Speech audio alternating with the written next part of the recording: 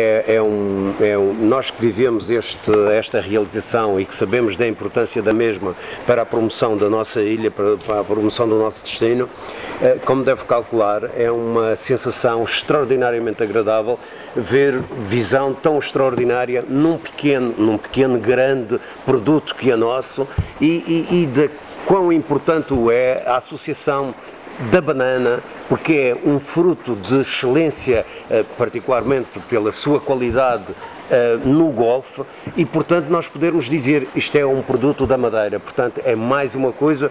Ao Jorge também o meu sincero agradecimento, porque isto tem um, um valor muito especial para nós na medida em que não é só a divulgação a nível nacional, mas é também a divulgação e a forma de saber em toda a Europa, em milhões e milhões de lares onde vão entrar os, eh, em highlights eh, eh, esta nossa, este nosso torneio e, portanto, penso que ganhamos todos, uma vez que ganha Madeira, uma vez que ganham os madeirenses, eu penso que esta é uma associação perfeita. O meu sincero agradecimento em nome do Campo de Golfe do Santo da Serra.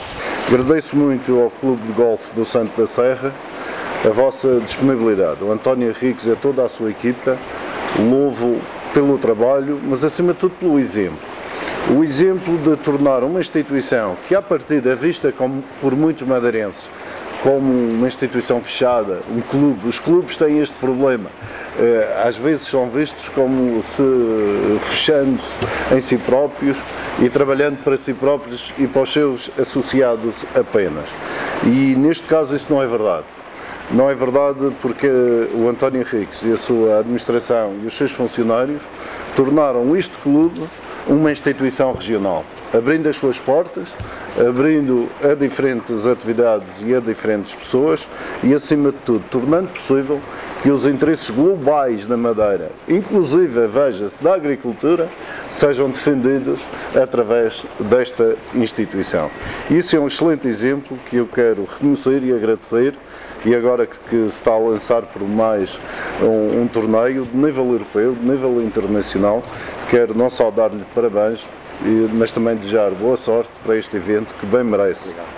Este é um, um protocolo que segue a outros que já existiam a nível nacional.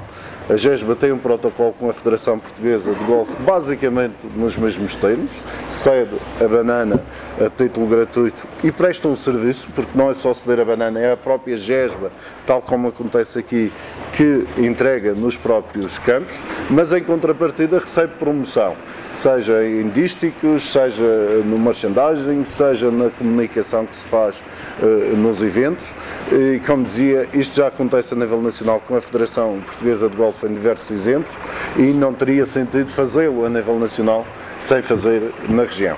E deixem-me dizer que o nosso propósito é de continuar, não só com o campo de golfe eh, do Santo da Serra, mas também com outras instituições e associações e eventos da região que envolvem atletas, que envolvem a necessidade de potássio e de força e certamente que nesse aspecto a banana da Madeira é um, um produto de referência e esta associação é também exemplar. Por isso a banana é boa, mas os madeirenses são ainda melhor que a banana e agora juntou-se tudo.